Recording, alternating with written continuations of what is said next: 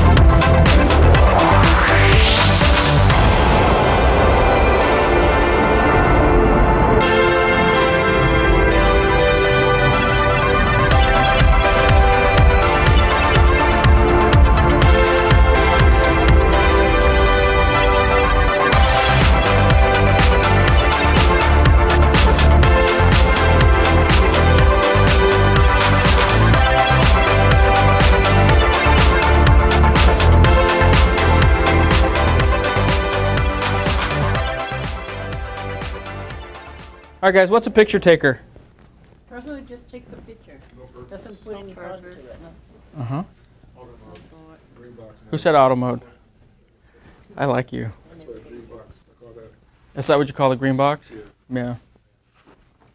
What's a picture taker? Who's a picture taker? Anyone can take a picture. A two year old kid can take a picture. Okay? I want you guys to think about that. The world is full of picture takers. Virtually everyone on this planet is a picture taker. We're in Ethiopia, where we would assume that kids have never, you know, had much, they haven't had much contact with cameras or technology. And you saw there I had a shot. I mean, they were grabbing the phone out of my hands and they were learning to take pictures. Anyone's a picture taker. My boys, from the time they were, I have triplets, from the time they were little, they're picture takers. Right? Anyone's a picture taker. All of you are in this room because you have aspirations to do something with your photography. I want you to ask yourself when you're doing something, am I taking pictures or am I actually creating photography? There's a fundamental difference. Fundamental difference. Okay, look at all the people who are on Instagram who are famous, right? Bunch of no talent picture takers. Kendall Jenner, who are who- all of them, the Kardashians. I mean, they'd take enough to just make you want to throw up. The point I'm trying to make is, guys, when you're when you're looking at your photography, I want you to ask yourself at all times: Are you a picture taker, or are you being a photographer? And we're going to go through those differences. Symptoms of a picture taker. Here's where I get in trouble. Picture takers are one-trick ponies. Okay. Let's turn on a little bit. Can we turn on a little bit more light? That's fine. Yeah. That's why we turned the light on. So, symptoms of a picture taker. One trick pony. What's a one trick pony? Bonnie takes one, Tony does one thing. Only does one thing, right? You guys see that in the photography industry these days? Not just a matter of genre, I'm talking about can they do anything outside of a blown out shot? Why do people blow out shots? Why do we have this why do we have why do we have this blown out sky tsunami occurring in our industry? Why? It's a very simple answer.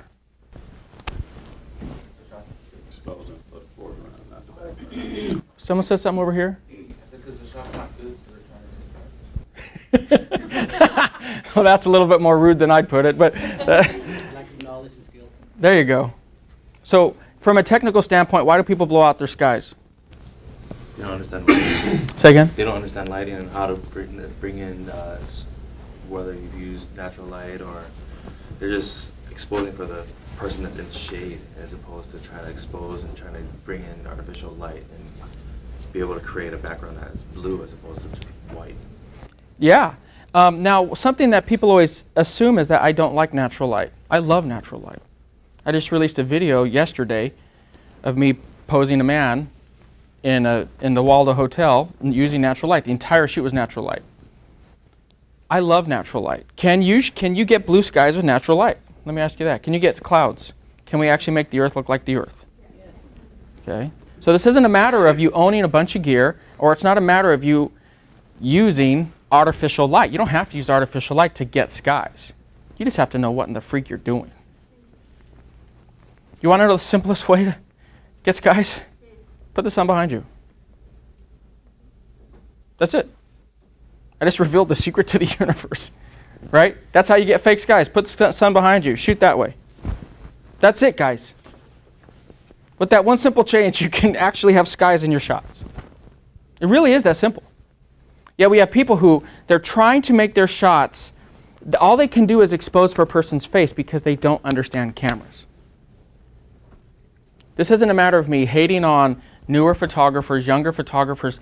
You know, a lot of photographers bemoan the, the influx of, of all of you guys, right? I think it's fantastic.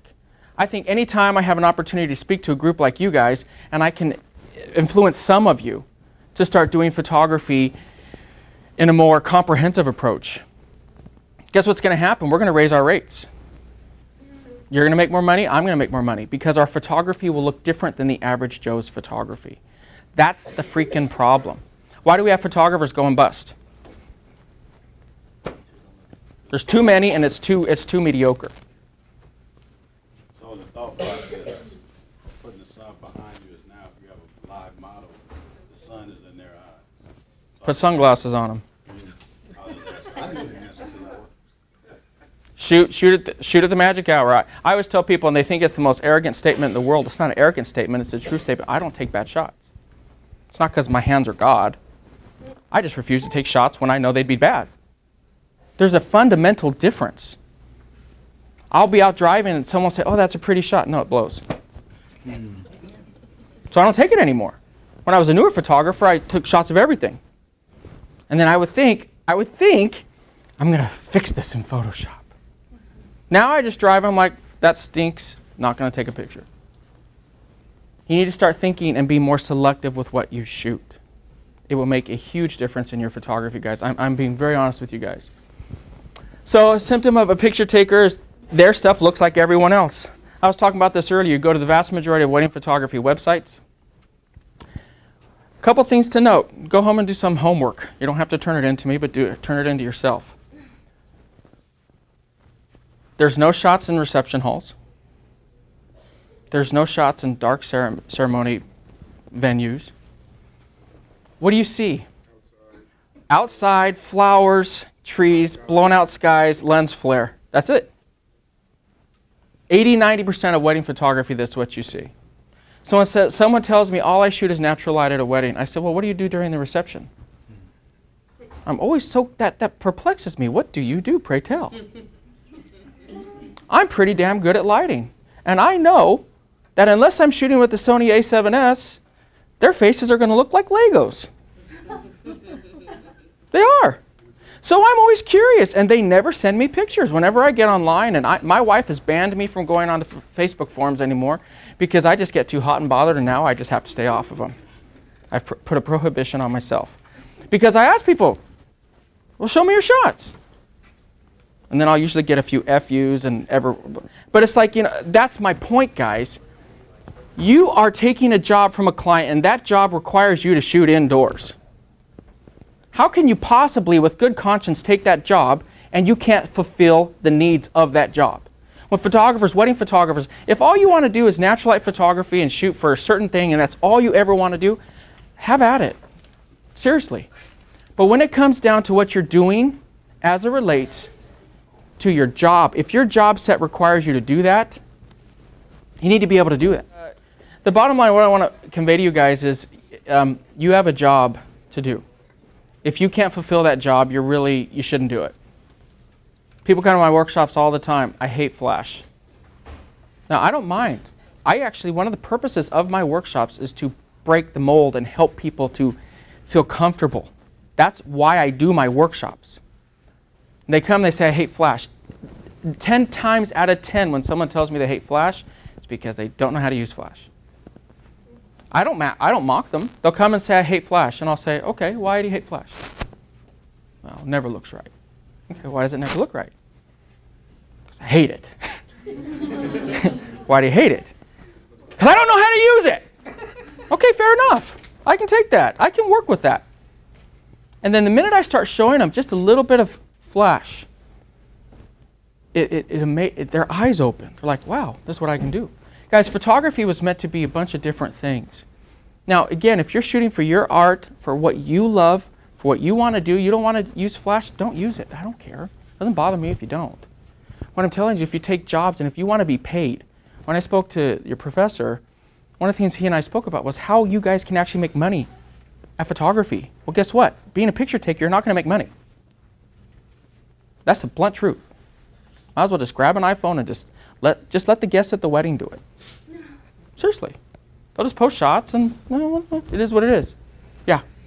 Um, of all the weddings that you've taken, you know, obviously it's the happiest day of some couples' lives, but do you ever, Sometimes it's the most stressful day. yeah, do you ever catch the behind the scenes where the the bride is to be is freaking out or the groom is like, Ugh, I'm not really into this right now, and one Pretty much every wedding.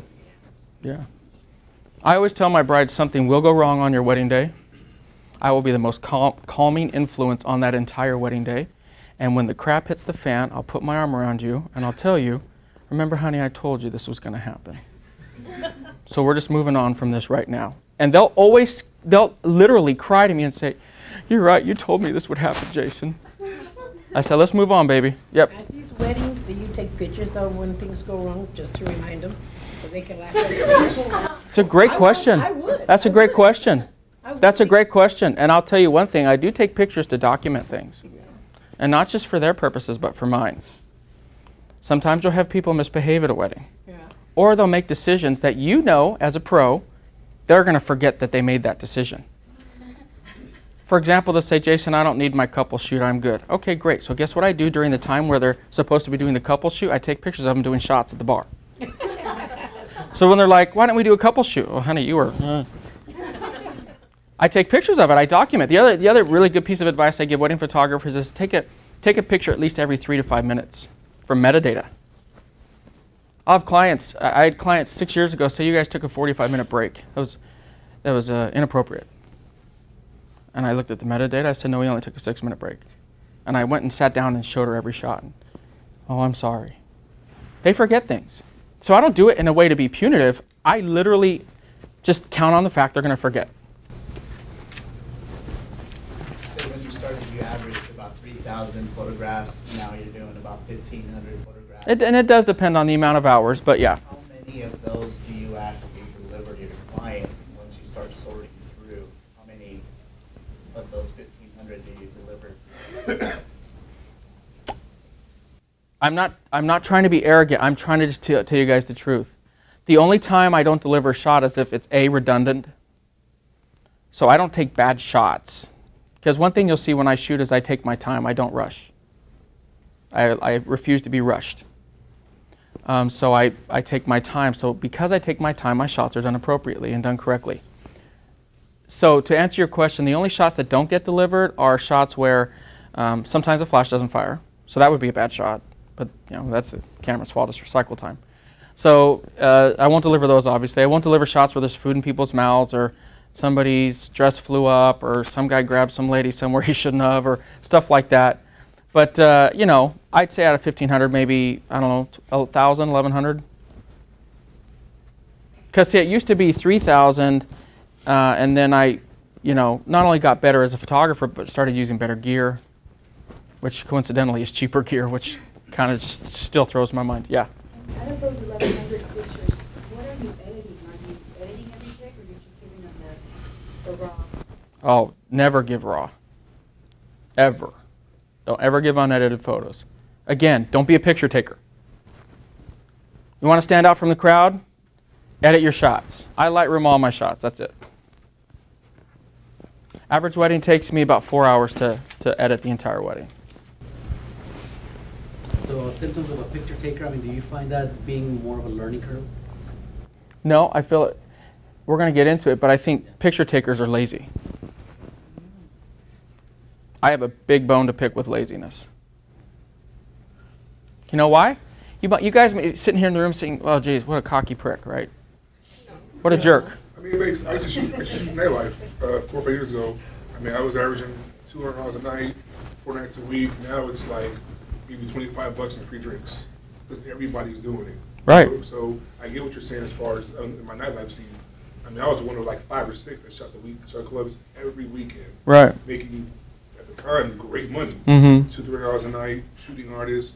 Now there's like fifty people with a camera in the club, getting in my way, and they're, my shots are all over. Supposed where's a flash here, a flash here. So I get what you're saying. Yeah, you strap on an A7S, your rates will go up because you can shoot without. And you can just crank that ISO up, and you're going to kill them, and you're, you're going to make more money. All right. Um, another other symptoms they follow the pack. There's a lack of understanding, and they plateau. I think that's the that's the picture takers plateau. That's why 89 90% of photographers are in that $2,000 range, and they don't break out of it.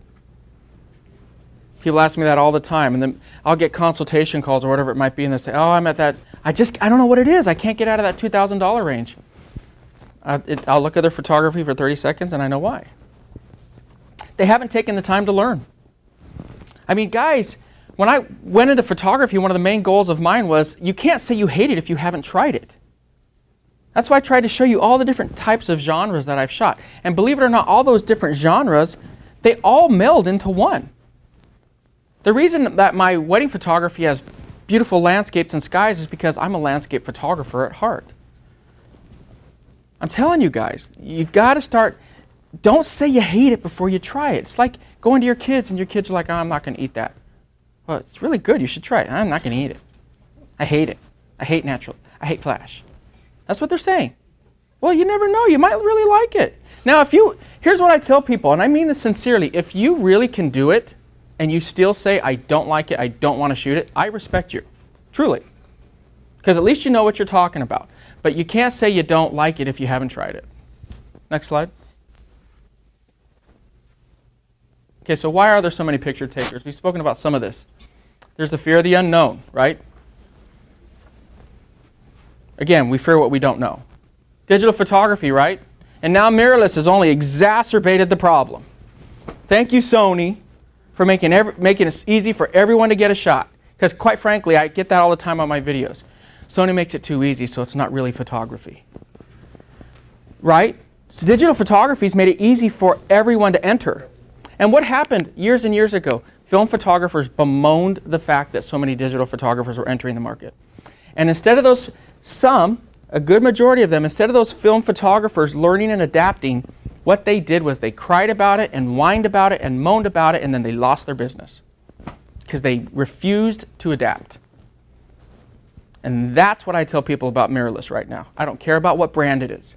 I'm telling you guys, you're not going when you can carry something that's a third of the weight and a third of the cost, eventually the market, the market's going to break. It will. I'm just telling you when you shoot as much as I do, I do maybe three to four shoots a week, right? I'm not a scrawny guy. I'm not Frodo Baggins over here, okay?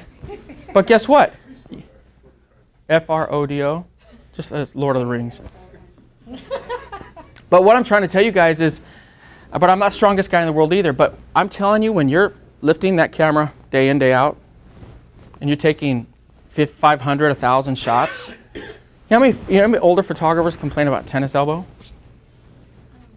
They complain about those things. You guys ever had two bodies on you? You look like Rambo, one here, one here. I, I don't care how big and strong you are, by the end of your night, your back aches. It aches. I don't feel them at all. I seriously walk around and I'm like, do I have my camera on me? I'm like, oh, there it is. Not a sales pitch. I'm just telling you guys, regardless of the brand, that's the way the industry is going to go. And film, film cameras were small, right? For the most part, film cameras were small. Digital went, it's going to go back. So think about that. Again, lack of training and a lack of dedication. Again, the shots are good enough. I think that's the main issue here, is there's a real lack of lack of dedication to learn. Again, I don't. I want to make something abundantly clear. Just because you doesn't you don't know it doesn't mean that something's wrong with you. I am in no way making fun of photographers not knowing something. I have a problem with those who refuse to learn. Who refuse to learn, who, who, who start their photography journey and they get into it 20% of the way. Their shots get good enough for them to start making money and then they quit.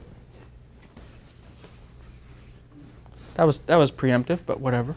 Um, but I, that's what I want to get into with you guys. So, what is a photographer? What's the difference between a photographer and a picture taker? Photographer knows what he's doing. Hmm?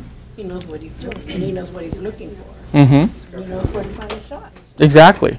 The photographer makes you part of that moment, draws the viewer into the moment, and makes it part of that scene. Right. Tells a story. I, I think a great photograph, even when I'm reviewing mine, when I know that I have one that I want to share on a presentation rather than one that I just, okay, I took it. I think a picture should make you ask a question. A picture, you should look at a picture and like, hmm, what was, what was happening? Do you know what I mean? I, I think that's what a great photograph does. So next slide. So it's impossible for any photographer on this planet to know everything. I definitely am included in that. I don't know everything. But a great photographer has a mastery of the fundamentals. They really should. You know, the biggest fear that I had when I was a newer photographer was I had a fear of a, of a client coming to me and saying, hey, I want you to do this. This was my biggest fear. Coming to me and saying, I want you to do this. And I'd be like, I have no, I don't know how to do that.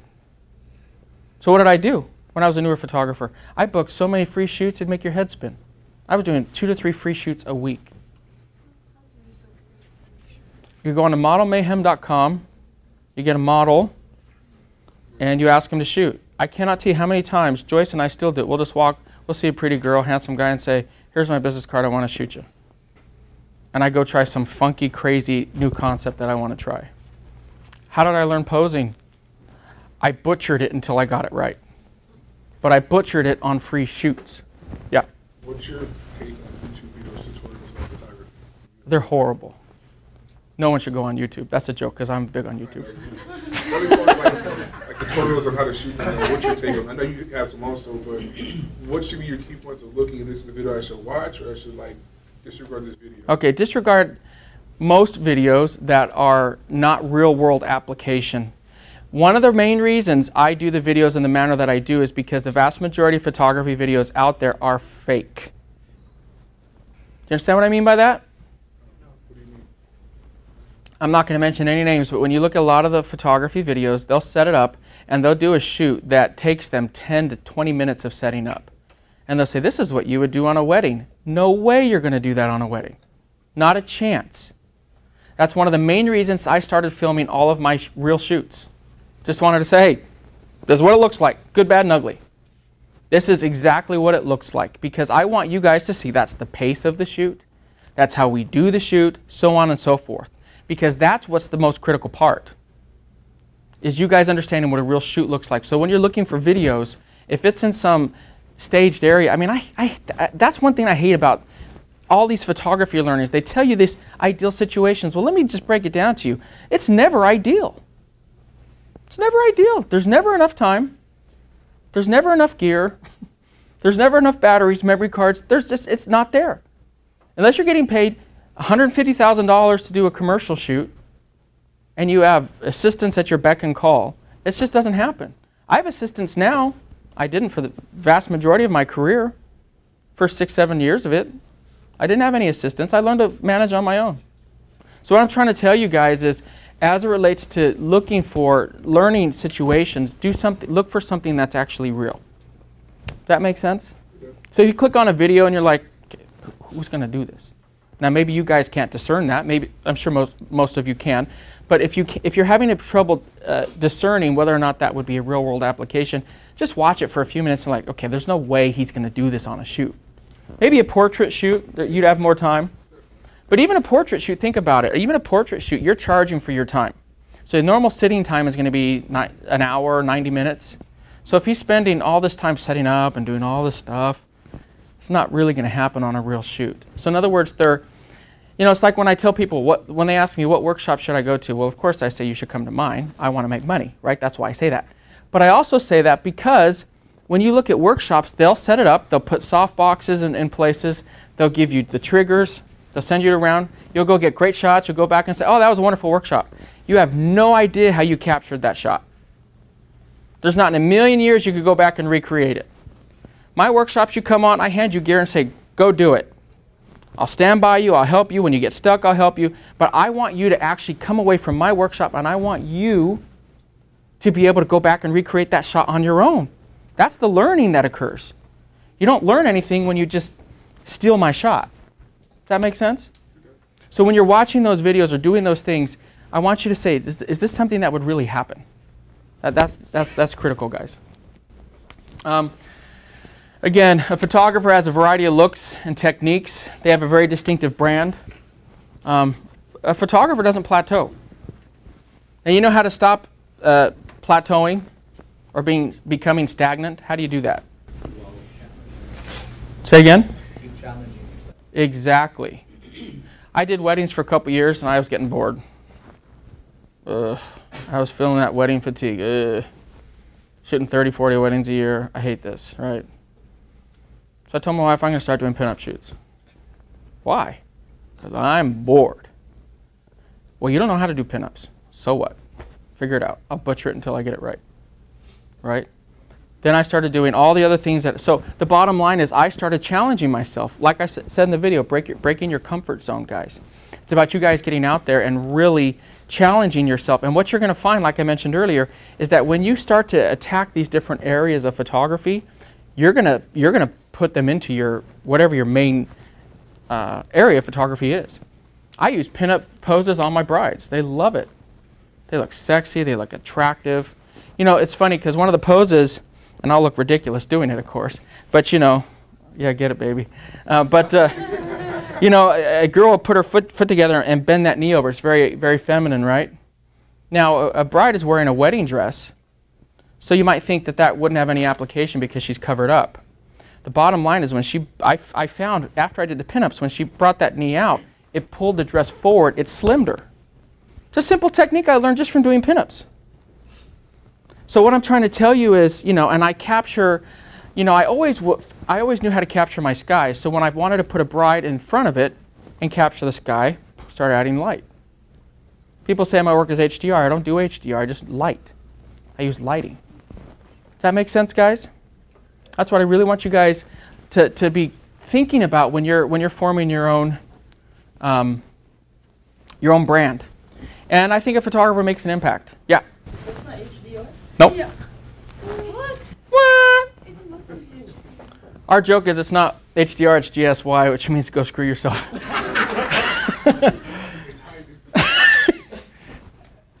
no, it's not HDR. How do you do it? I just told you, brother. you expose for the sky, plus you can pay me and come to my workshop. But you expose for the sky and you use appropriate lighting on your subject. S- Nope. Bracketing is HDR. Yeah, you tried to trick me. It's not going to work. A lot of pictures, the, uh, the cloud looks really not nice, right? But uh, Fake, my fake sky is right. Yeah, go ahead. And I don't Photoshop those in. I sh- my wife tells me stop saying fake skies. 'cause People are going to believe it. But anyway, go ahead. But the workshop is like on a certain day, right? So, uh, for example, on that day, there's no cloud. There's no cloud in the sky. I can always find a cloud. You can always put one in, too. No. No? No. Shame on you.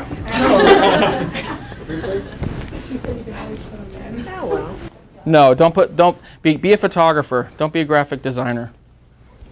If if that's what you want to be. If you want to be a graphic designer, be a graphic designer. I have no problem with graphic designers. But if you're talking about being a photographer, be a photographer. So, um, when, yeah, sometimes there are there's no sky, right? Like in San Diego, sometimes, you know, there's no sky. There's But no it- clouds. There are no clouds, right? Yeah. But get something blue. Make sure it's blue. Now, yeah, say again. The clouds all go east. You can go east and you'll find clouds. Yeah, just There's no water. Joyce will tell you how many times I'll chase the clouds, like a storm watcher, storm chaser. I'll, I'll drive everyone nuts. Like the clouds are over there. That's where we're going. Oh my gosh, that's so far. Get in the car. Let's go. Because I want the clouds. I, I, I refuse to take a bad shot. If the shot blows, I don't take it. So you would um, not take any picture of like the overcast, right? Sure, I would. Absolutely. Absolutely, I would. Absolutely. I just want definition to my shots. Sometimes overcast shots can be incredible. Yeah. I mean, like a real broody, kind of moody feel. It doesn't have to be happy and cheerful. It can be, but I just want you. I just want you guys to capture something. I mean, even with the lighting techniques that I use, you know, I took a bride and groom out to Laguna Beach. It was their wedding day. Huge amount of fog came in. I exposed for the fog. You might say, how in the heck do you expose for fog? Well, you you put your metering on the, the exposure for the fog. That's all you guys do is you expose for the brightest part in the sky. That's it. There's your HDR secret, right? You expose for the brightest part of the sky. And then what you do is you take your light and you illuminate your subject. That's it. It really is as simple as that. Now, it takes time to learn, it takes time to perfect, but what I'm telling you is it's possible.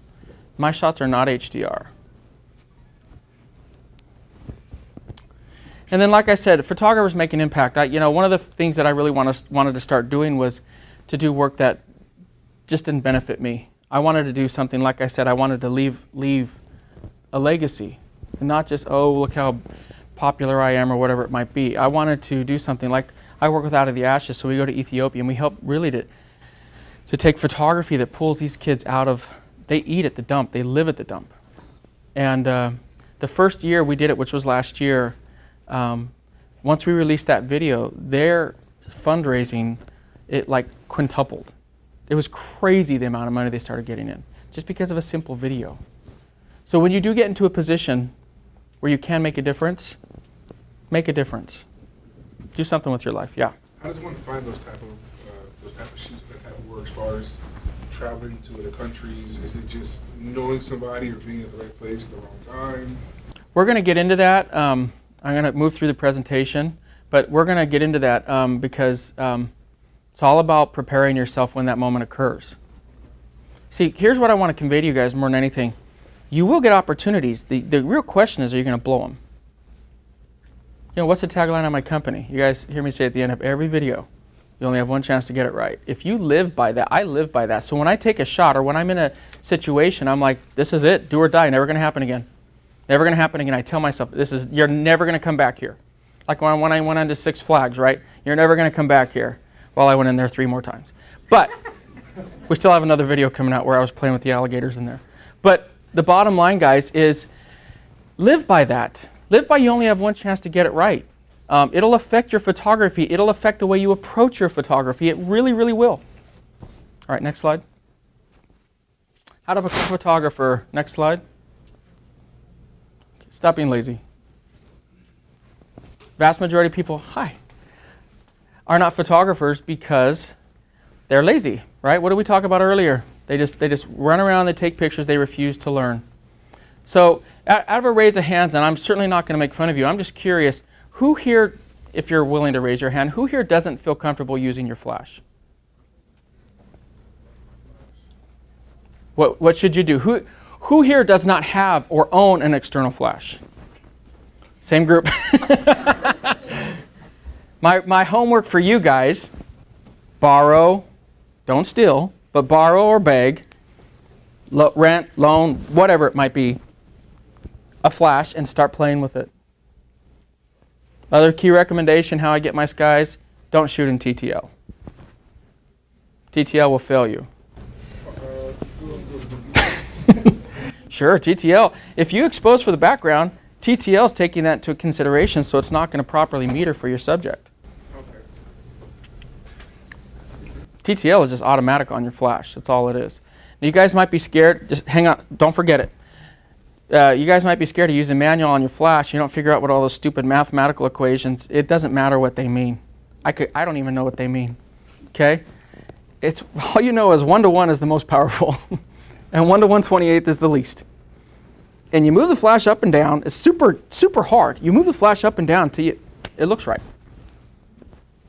Now they're just fractions. One to one means full power. 1 at 128th means, well, 1 at 128th. The bottom line is you guys need to start playing with that flash, okay? If, if you guys use it in TTL, again, that's laziness. Laziness. Stop being lazy, please. You use rear curtain? Sometimes. Sometimes. What's rear curtain? Just kidding. But uh, for those who don't know, rear curtain is when you fire, the, the flash fires at the end of the, the shutter, and that's a way to freeze frame your subject. So, but yeah, I mean, it depends. If I'm shooting a longer shutter, I'll use rear curtain. These are all stuff that we work on on, on the workshops, by the way. www.jasonlanierworkshops.com. Yeah. Go back to the shot, please. And that shot right there is, that's not flash. That's, That that's a, that's a sexy guy right there. I don't know about that part. I'm not able to, I'm not saying about that. But that shot, long exposure, what camera are you shooting that with? Uh, one of my workshop attendees shot that. but I'm this is in Chicago, and I was shooting, and she says, "Hey, I want to grab a cool production shot of you," so she shot that. So, but I don't know I, because I didn't shoot it. I think it's I don't know, but even this, this is probably you know, 40th of a second. You know, I always tell my my uh, students don't shoot lower than a 60th of a second handheld. With the Sony A7 Mark II, you can shoot at a sixth of a second handheld because of the image stabilization. Yeah. What percentage of your of your income is based on prints that you sell, opposed to? Mm, one percent. So it's mostly That's the past, guys. That's the past. That's the past. You can witch and moan about it all you want. What do your clients want images for? Facebook, blogs, iPads, phones, text messages. It's what they want. And we're fighting it. Guess what I did? I just started charging for it. I just build it into my rates. Stupidest thing you can do is say, well, if you want all the images, it's going to cost you an extra two grand. Oh, I don't want that. But if you think about it smart, you build it into the price. Now I just get paid for my time. If my clients don't buy a single thing after the wedding or after the portrait shoot, I don't care. I'm the least pushy salesman you'll find. A lot of times they'll be like, "Hey Jason, did you want to do it? Did you want me to order an album?" And I'm like, "Oh sure, yeah, you can do that." Because my business is about pr providing a very, very high quality product in a very quick amount of time. Because I, I chose to build my business to where um, I'm flying all over the world. I don't have time to cater to 50 brides and 50 albums. I don't. I don't want to do that. I don't want my life to be fulfilling orders, right? I used to use Pictage. I hate them now because they stink. But you know, you go on to um, SmugMug or Zenfolio or whatever it might be. Just have them fulfill the orders for you guys. So it's worth its weight in gold. Put your pictures up, your clients order them. If they have a problem with the print, my clients will call me up, and it's only happened once or twice in six, seven years. Hey, Jason, I didn't like that print. Awesome, call Pictage. That's, that's what I pay them to do. Also, if you do that, then, you know, it, when you send them images, and if they get them printed at Costco or Walmart and they look like garbage, you can say, well, that's why I provide you a professional lab. And I tell my clients, unless you're the most vain person in the world, unless you're Kanye West and Kim Kardashian, okay, you're only going to hang three or four images up in your house. Truly. Have those blunt conversations with your clients. I tell them you're, you're only going to print three or four. Order them through the lab so they look fantastic. And I tell them I'm not making a ton of money off it, which I'm not. You know, 8 by 10 is, I don't know, $10, 15 bucks, whatever it might be. I may make 40% of that. So when you think about it, and, and, when you talk to them in those terms, see, they're basing everything off of, well, an 8 by 10 at Walmart is $3. Yeah, that's $3 of garbage. But if I say, hey, you're going to buy four prints, four 16 by 20s might cost you $100. What's $100 to have beautiful prints up in your house? And when you talk to them in those terms, they're like, yeah, you're right. You know, an album may be between 800 to $2,000. Albums can be lucrative. I should do more of them, but I just prefer to be exploring an abandoned building. Yep. What file format do you deliver to? JPEG. Never RAW. Don't give away your RAW. Dumb idea. Someone can manipulate your work and then it's gone. Question. Yeah. Question. Um, do you ever give full size? Do you, if not, what size do you give? Yeah, usually I'll output it about 85, 90%. If I give them 60%, what's going to happen? They're going to call me two, three months down the road. Oh, I printed it and it's just, it's not high res enough. Or the printer told me it's not high. Now I'm going back and forth and back. Which file is it? Which this? Which that? I don't want to do that. I want my business to be efficient. See, photographers don't really think of what they do as a business. They think of it only as an art form, and that's where they fail. You have to have two hats the artist and the business person. So, building a distinct look and brand, right? People hire me simply because my work looks different, right? They want their wedding to look different. I just uh, sold a wedding yesterday, and I flat out told them, I said, if you want your if you want your work to be shot by a Sony Artisan of Imagery, I'm only one of 20 some odd in the world. If you want your work to look different, you hire me. You pay me more money, and that's those are the conversations I have at a consultation. It's I'm certainly polite and and nice to them, but I'm I'm bold, guys. You got to be bold when you're selling yourself. Don't say, well, you know, you know, maybe if you choose me, you know, hem and haw, hem and haw. No one's going to choose you. You're a wimp. Seriously. I just flat out tell them, look, I'm one of 20 in the world. If you want to tell people that, and believe me, your clients will love it. You start winning awards and doing things, your client, they'll go around, ooh, I have a Sony Artisan Imagery shooting my wedding. Now they love it. You guys may think that's hogwash. They love it. Okay? But they want but they also hire me because my shots look different. Way before I was an artisan of imagery, it was about my work looking different. And they, they would say to me all the time, and they still, to, still do to this day, I don't want to get my wedding images and it looks like all my girlfriend's wedding images. They'll flat out tell me, I want it to blow their crap out of the water. And they do. And then when they take their images to the office, I get the calls from the office people who see the images saying, oh my gosh, I just saw the images. I want you to shoot my wedding. You're not going to do that if all your shots are blown out. Everyone does it. Picture takers. Okay? You know what difference is? A picture taker is a fry cook. A photographer is a chef. That's the difference. Have you ever been offered a job that you felt you weren't ready for? Absolutely. Pretty much every job I took, I wasn't ready for, and I did anyway. Because I am a risk taker. I say in my video, be a risk taker. right? First, the first, my first wedding, I had no idea what I was doing. When I was hired to do my first wedding, I shot an auto. I had a Fuji S3 Pro. I had no idea what I was doing. And, you know, my biggest fear was, you know, it's funny, when I used to take pictures with my cameras, I would take them and I would just put them on a tripod and hope it turned out, just to be honest with you. And then I was terrified of somebody asking me for my settings because I'm like, I would pretend that I knew what I was talking about when I had no idea. I didn't even know what an f-stop was. Right? I mean, I didn't even know what shutter or ISO did. Film speed, I had no idea. So the bottom line is I, you know, I took jobs, but once I took a job, I would say, okay, I took this job, I need to prepare for this job. You know, I'd ask myself, can I prepare to, to be ready for it? But you guys, if you're if you're afraid of the future, you're never going to get you're never going to get ahead. You can't fear it, guys. Jump in. Go ahead. A question, uh, when you get a job, as far as locations, do they tell you this is where I want it? Or do you offer locations? I tell them this is where your shots are not going to suck. So I'll have clients say, I want to get have my portrait, or I want to have my engagement shots done at Balboa Park at 1 p.m. Okay, great. Shots are going to blow. High noon, raccoon eyes, sweat. And, and guess what? If my clients push, which sometimes they do, well, that's the only time we can do it. We have to do it at 1. When, it, when they're sweating, I will say to them, this is why I told you to do that. I don't try to be an I told you so, but I'm reminding them because they're going to get those pictures back. Say, geez, I'm all beady. Can you do something with that in Photoshop? Nope. I make all my models, they can't wear bras. Not because I'm trying to make it sexy. I am not going to Photoshop the bra straps out. Absolutely not. I've ended shoots. I'll just be like, nope, I'm not shooting. Don't, don't make more work for yourself, guys. I mean, you might think it's crazy, but if they're, you know, well, I'll leave that alone. But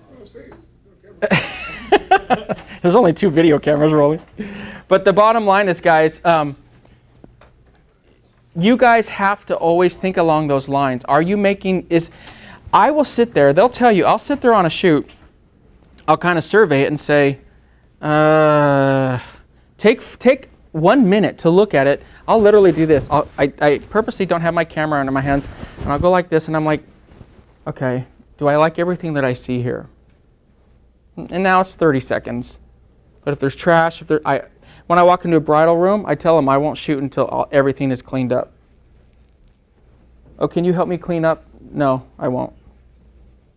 I'm not being hired to clean up somebody's underwear and In-N-Out wrappers. I'm not. So I tell them I don't come and I don't start shooting until it's clean. So if I show up and it's a disaster, which happens 9.9 times out of 10, I say, hey, sweetie, why don't you give me your shoes and your bouquet?